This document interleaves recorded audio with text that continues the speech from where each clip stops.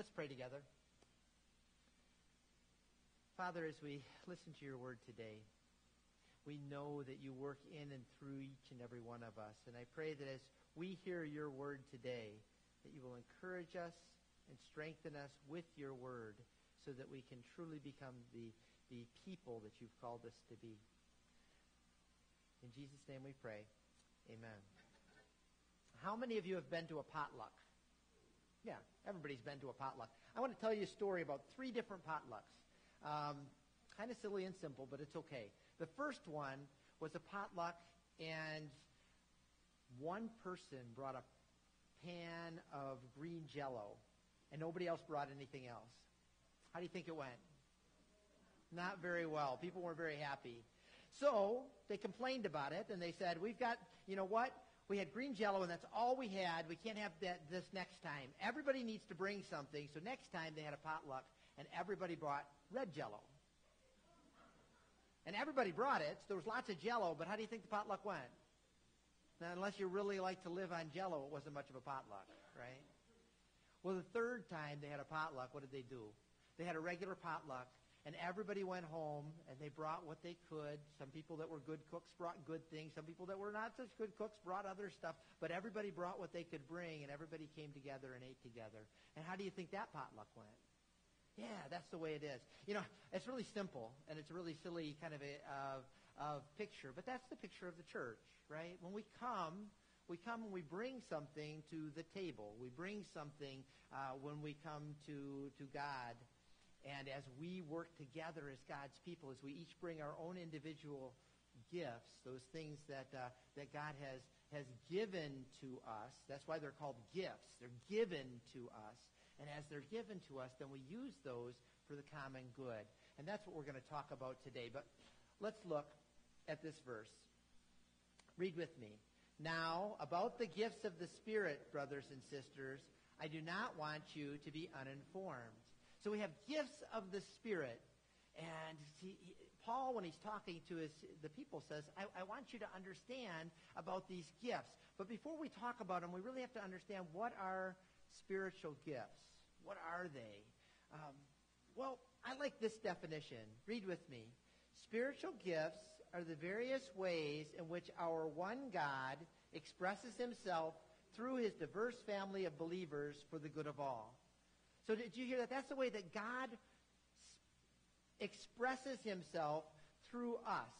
So as each of you exercises the gift that God has given you, as God has prepared you to serve in his kingdom, as you do that, then God is expressing himself for the common good of all. And so each person, as they receive those gifts, maybe has a different gift, kind of like the potluck, right? Um, so maybe somebody brings meatballs and somebody brings green jello and somebody brings a casserole and somebody brings a dessert. Everybody's bringing something different to the table, but together it makes this incredible meal for everybody to eat. And it's the same thing as we come here. Maybe one of you has this gift and one of you has that gift, and we'll talk more about what those, some of those gifts are. But as you bring them, that's the way that God works to build up the body of Christ and to be a blessing.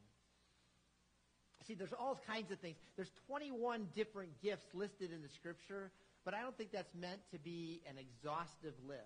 It's not meant to say, oh, these are only the gifts. They're just examples because in some places it talks about some of the more miraculous type gifts and some of them more mundane or ordinary gifts like uh, the gift, I always thought it was kind of kind of interesting because you talk about the gift of tongues, which is is like a uh, special miraculous ability to speak a different language, and then you talk about the gift of administration, which is like the ability to balance the books and to do some. I mean, it, they're they're very different in those ways. But the fact is, God expresses Himself through His people in a, a variety of different ways and lots of different gifts.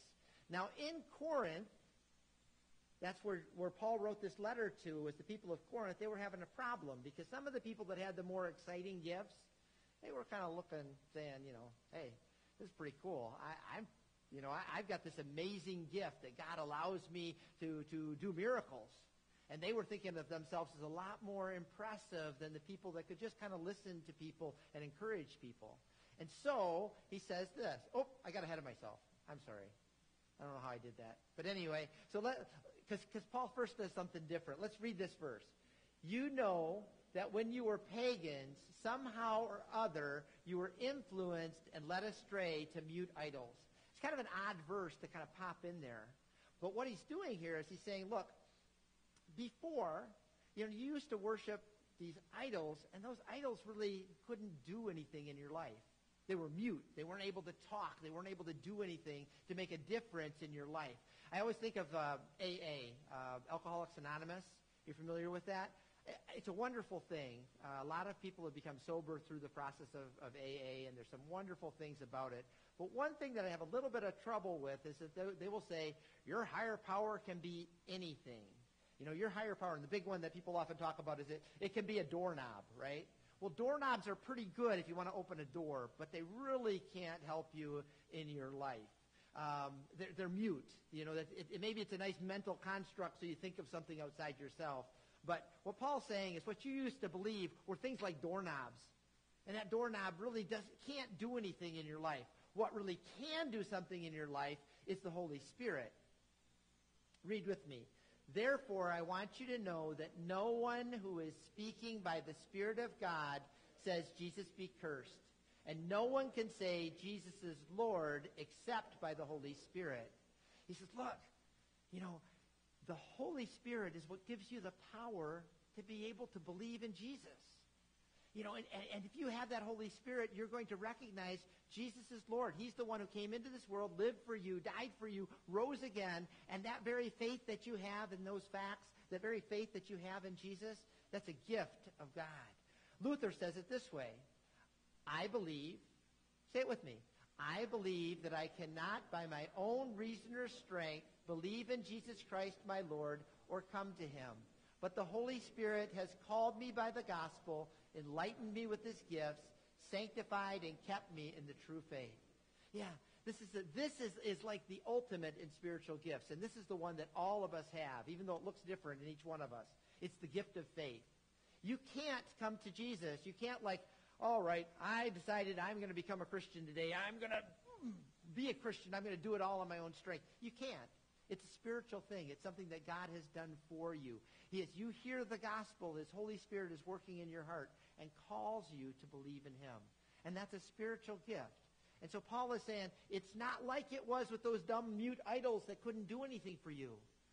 Right now, you have a God that actually works in your life. And you can tell because you have faith in Jesus and you can call him Lord.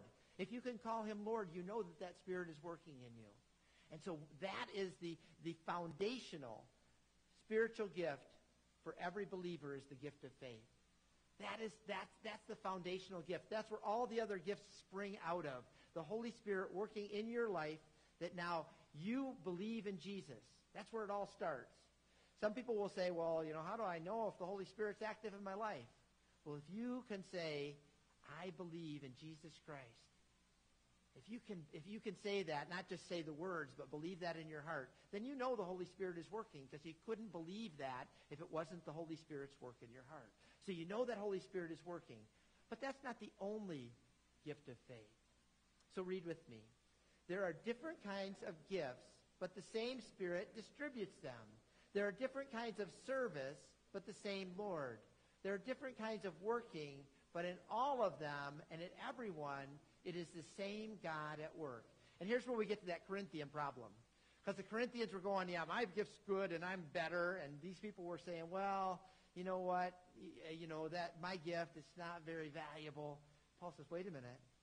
Whether it's something really special or whether it's something not, they all come from the same Lord. It's kind of like that potluck we were talking about right? Somebody comes to the potluck and they've made these, these gourmet meatballs and they're pretty proud of them. Oh, look at these. And they're, they're hit. Everybody just is, is, is, is killing for them because they're, they're wonderful. All right? And somebody else, you know, they're having a rough time and they run over to KFC and find some chicken that my son-in-law made, right? And they bring it and throw the bucket on the table. And Paul says, let's not say one's better than the other. Each person is bringing what they can bring, and the Lord is working in and through that. So maybe your gift is something real spectacular. Maybe you're able to preach or read or, or do something in an uh, amazing way, and people, people go, wow, that was really inspiring. And maybe somebody else has the gift of being able to just have that little gift of service, to be able to say, hey, I saw there was a mess in the bathroom, and I was, uh, the Lord moved me to clean that up without telling anybody about it at all. But those gifts are all gifts that God gives for the good of his church. And it's not like one is way up here or one is down there, but it's the same God that gives those gifts. And each person's service should be valued as, as a, a gift from God. And here's another thing. I'm, not from this particular scripture, but it is scriptural. Um, there's times in our life where we're able to give more than others. There's seasons in our lives and so it's really important for us as God's people not to look down on people that are maybe at a different point. Maybe if you're going through a real struggle in your life, maybe something's just really hard and getting out of bed is just, just, just all you can do. Okay, well, that's where you're at right now. And maybe somebody else has lots of time and energy and they're able to come and, and give and be at church and do lots of things. And that's where they're at right now. And both of those people are serving the Lord in the way that they can. And so it's not for us to judge, but to instead to just love people where they're at. Because maybe this week, this person's way, way down and really struggling, and you're doing really well. But maybe next week it'll be vice versa. And so we as God's people, we love one another and recognize that whatever service you can give, it all comes from the Lord. Read with me. Now to each one, the manifestation of the Spirit is given for the common good. It says to each one. So here's one thing, though. Even though it may be different at different seasons in your life, God gives his spiritual gifts. He works through each and every person. Each and every person is able to give and be a part of the body of Christ. And we need that for the common good. I, I love the story of Horton Hears a Who. I know he's been uh, um, canceled or whatever, Dr. Seuss. But when I was growing up, Dr. Seuss was like my guy. This was not my favorite. Green Eggs and Ham was my favorite. I had it memorized, okay? But but Horton Hears a Who was up there. Um, you know, I if, if I ran the zoo, I really you guys don't need to know my Dr. Seuss favorites. But but Horton Hears a Who. You know the story. There's this elephant, and this elephant finds this little fuzzball. And because he's got such big ears, he can hear that there's people living, little tiny people that don't seem to matter on that fuzzball. And he can hear him plain as day because he's got these big, huge elephant ears, but everybody else can't hear him. And they think Horton's crazy and they're going to kill him and they're going to boil the fuzzball. And so Horton's trying to save them, and he says, look, you guys got to let people know you're there. And everybody starts yelling, and, and this little fuzzball, all the little tiny people on there, and they're yelling, and they're playing their instruments, and they're, they're beating their drums, and they're doing everything, and still nobody can hear them, although Horton can hear them really well. And then there's the mayor of the little town down on the fuzzball runs around and he finds one little kid that isn't making a sound. And he, he goes to the kid and he says, hey, look, we need you right now. And the little kid says, yap. And all of a sudden the yap breaks through and everybody can hear. But what I love about the story is it's just like the church. God gives his gifts to each and every person to be able to use for the benefit of the church. But if you've got some people that are just saying, nah, you know what, somebody else will do it. Nah, you know what, we need every person working together to be a blessing for the common good of all. God works through each believer in unique and yet indispensable ways. Now, you might say, I, I don't have anything that I can do. But that's not true because God has promised that he gives to each person the ability to serve. And what you do now might be different than what you did 20, 30, 40, 50 years ago. And what you do in 10, 20, 30 years might be different too. But God has called you to use your gifts for the common good. They're the manifestation of the Spirit. Now that's a kind of a, a big term, manifestation. What does it mean to manifest something? To what? To make it obvious. Yeah, it comes from, in the Greek, it comes from the word of, of shining light, you know, so it's, it's like to turn it on and let it shine. To make the Spirit obvious, to reveal the Spirit so that everybody can see the Spirit. And that's exactly what happens. As we exercise our gifts, and maybe your gift is a gift of listening, as you exercise that gift, you're letting the world see the Holy Spirit at work. See, the Holy Spirit, you can't see it. I mean, it, it, when it came down as tongues of uh, fire, it was manifested on, on the apostles. But now you, you just can't see it. You don't walk by and go, oh, there's the Holy Spirit. But you can when God's people are exercising those gifts, when we're listening, or when maybe we're serving in some way. You use the gift of serving, like those folks are doing a, a project. Or when, when you're giving, you know, when you're showing the generosity that God's given you. You know, the, the, the church can't function unless we are sharing out of the bounty that God has given us. And that generosity that he works in our hearts that we're able to give back to him, I mean, that's, that's a spiritual gift. And if you're sitting there going, ah, well, I don't really feel like, you know, well, then the, the church as a whole is suffering. And then, or maybe it's that gift of prayer. Some of you are, are gifted at praying for other people, and you're willing to take your time and listen to people and find out what they need, and then you pray for them. That's a spiritual gift. Now, all of these things are things that every Christian does, but some people just have a, a, a, special extra working of the Holy Spirit that allows them to use those gifts in those ways. Or maybe it's teaching children or adults. And maybe it's something not on the list at all. But God has gifted each one of us so that his Spirit is obvious. His Spirit is revealed. Christians make God's Spirit visible by exercising our spiritual gifts for the common good. Christians make God's Spirit visible. So when people look at the church, and when the church is selfish and not doing its things, they don't see Jesus there at all. They don't see his Spirit. But when the Spirit is truly exercising those gifts and loving people and using those gifts for the glory of God, people go, wow, there's something happening there. There's something going on in that church. They're using their gifts for the glory of God. Now, I want to close with a little, uh, I don't know if it's a story, but uh, a little thing about zebras and wildebeests. Now, they say this didn't happen until the 1960s, and I'm not sure how they know, but they say in old days, zebras and wildebeests would travel alone, but now they travel together. And they travel together for a very good reason because zebras, they can see really, really well. And wildebeests, they can smell and hear really, really well. So when they're together, the zebras are able to spot those lions when they're coming along real quickly and easily.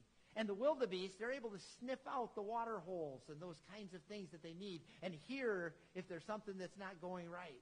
And so they use the gifts of each of them so that as they migrate together, they do a better job than if they were by themselves.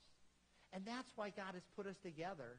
You know, some of us might be zebras, some of us might be wildebeest, but we work together for the common good so that we can do what? Carry out the mission of Jesus. And the mission of Jesus is what? I hope we know.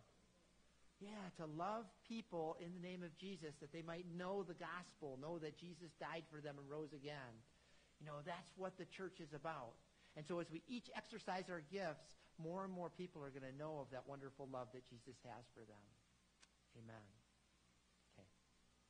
Any thoughts or comments before we review? Okay. Uh, let's review. What have we learned? Spiritual gifts are the various ways in which our one God expresses himself through his diverse family of believers for the good of all. The foundational spiritual gift for every believer is the gift of faith.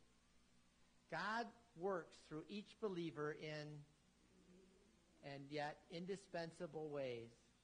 Christians make God's Spirit visible by exercising our spiritual gifts for the common good. Okay. Now take a minute. Think about what you've heard and what's going to be different in your life now that you've heard this message.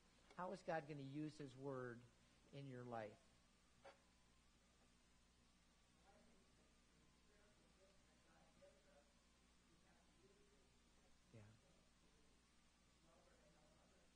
Yeah. Okay. So, Betty, we need to use the spiritual gifts that God's given us to love and help others. Thank you. Yeah.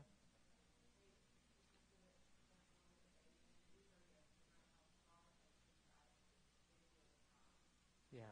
So use our gifts, no matter how small it might seem to us, it's a big deal to God. So use those gifts. Step out in faith and use them. And it's true. We need we need everyone to use their gifts. We need Kaylee and your boys and we need Orva, and we need Ruth that's not able to join with us because she's in a retirement place.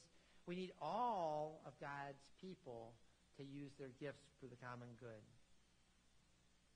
And maybe, you know, at some point in your life, you know, you're you're not able to do a lot else. Maybe God calls you to prayer. Maybe that's what you can do. Is you you can't do a whole lot of other things because of your health or other things, but you can pray and you can pray for the good of the for the good of the church, right? Okay. And that's something we can do right now. Let's pray together. Father, thank you for giving us your various gifts in so many different ways in which we can love and serve each other. Um, thank you for those diverse gifts, and as we bring them to the table, as we bring them uh, to our our church like a potluck, uh, you use them to make your spirit visible for the world. Let this word live in our hearts and our minds so that we truly become the people you've called us to be. In Jesus' name we pray. Amen.